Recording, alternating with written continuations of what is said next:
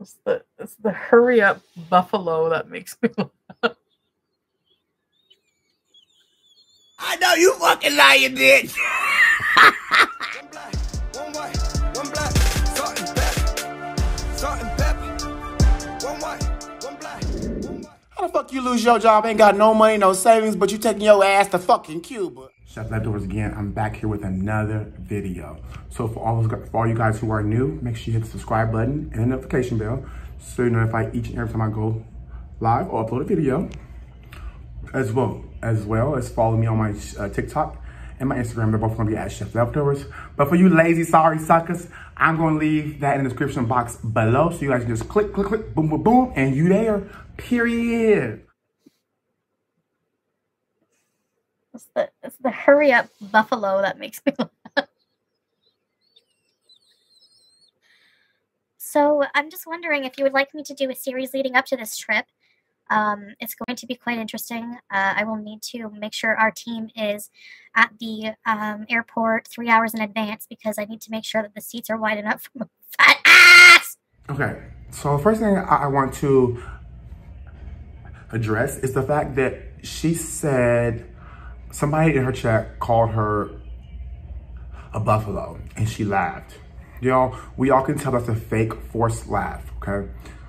I think deep down that really hurt her feelings. It cut her deeply.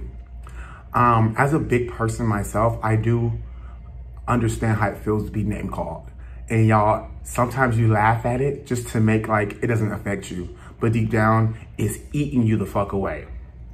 That laugh was forced. It was not real. It was a cackle. Um, and she, she, Foodie does not like to admit when she is hurt by something. She'll play it off because this is why. If you admit that you're hurt by something, people will continue to hurt you that way, period. Now, she's going to Cuba. The Beezer show is going to Cuba.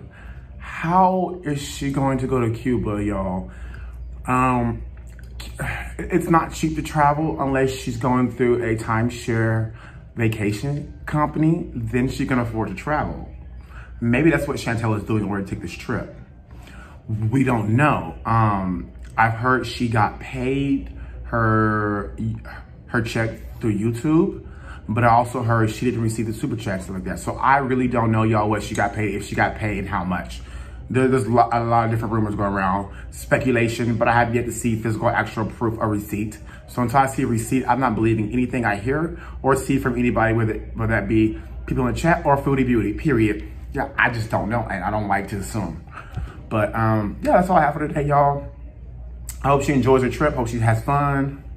But I hope she, when she gets back, she can afford to pay them bills. And that's her motherfucking period.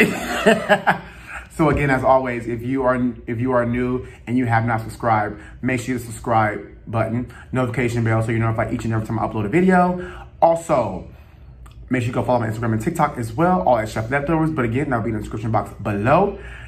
To everybody who watches my lives, thank you. I appreciate the support. I will start. I will be going live every day at 1 p.m. Eastern Daylight Time.